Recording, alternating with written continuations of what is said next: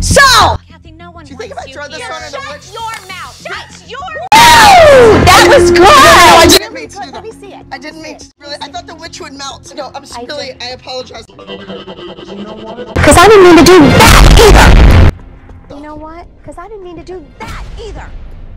If Christi can come after me, get out!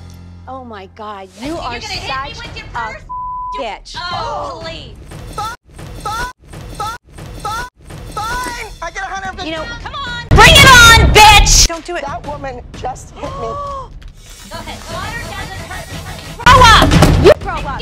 Sasha, don't say anything about my child ever again! With those disgusting eyes of yours. So stupid, Joe, it's not even funny.